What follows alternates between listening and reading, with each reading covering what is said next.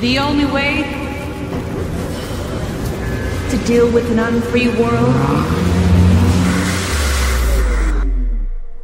is to become so absolutely free that your very existence